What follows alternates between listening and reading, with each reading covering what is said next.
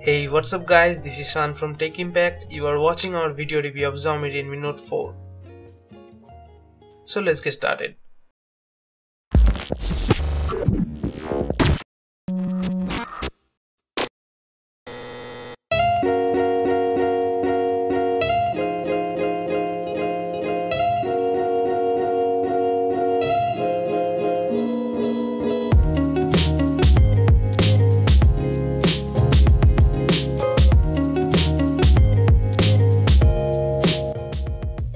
2017 and Xiaomi starting the year with a big launch, the Redmi Note 4.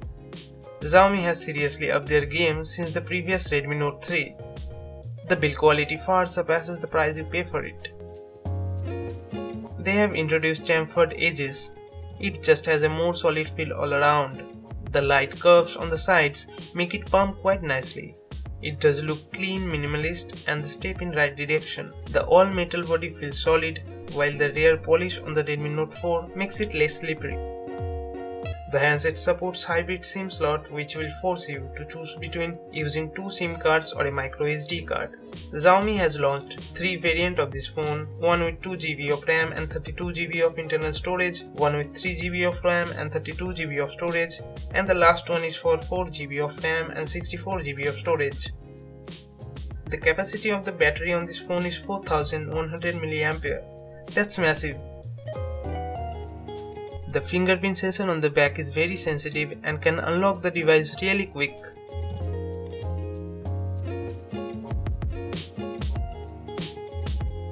Handling is not too difficult. Even in one-handed usage is not too hard to get from one side to the other, but getting to the top is a little bit tougher. The 5.5 inch Full HD display shows the razor sharp text there's a 2.5D curved glass spread across the font, giving it a premium feel. The display is pin sharp, it looks very crispy. The colors and the saturations are pretty high. Playing games, watching movies, it's a very enjoyable viewing experience. Viewing angle are pretty decent as you can see, it's fairly visible in the most sunny days. You can also adjust the color temperature from the settings.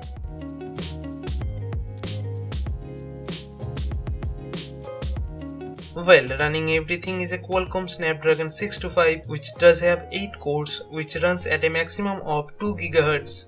It also has a Adreno 506 GPU. The Redmi Note 4 is by far the most powerful Redmi Note smartphone to date.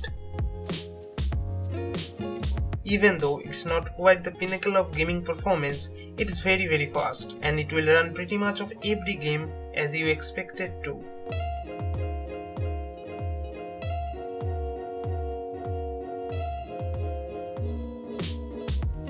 The 13 megapixel rear camera comes with face detection, autofocus and dual tone LED flash. It can take some decent shots in bright light as well as low light situations. The shutter speed is faster than average. For the price, it handles colors and the contrast very well. Even HDR scenarios with surprising ease. In low light environments, the dual tone LED flash handles it well. On the other hand, the 5 megapixel front facing camera produces a really clear output. The primary camera will shoot a maximum of 1080p video at 30 frames per second, but it can't do slow-mo at 120 frames per second at 720p.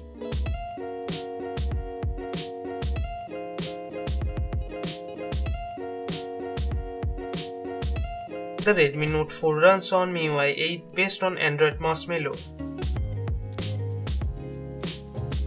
The MIUI 8 version comes with tons of amazing features like dual apps which lets you create two instances of any app on the device. There is also a second space which helps user to separate the business and the personal account. This phone supports 4G with VoLTE and we are happy with the call quality on the handset. The Redmi Note 4 comes with 3 variants according to the price ratio as on the screen. We believe that Redmi Note 4 is easily one of the best smartphone in its price segment. That was our review of Xiaomi Redmi Note 4. Hit the thumbs up button below and subscribe to us for more. I will catch you in the next one.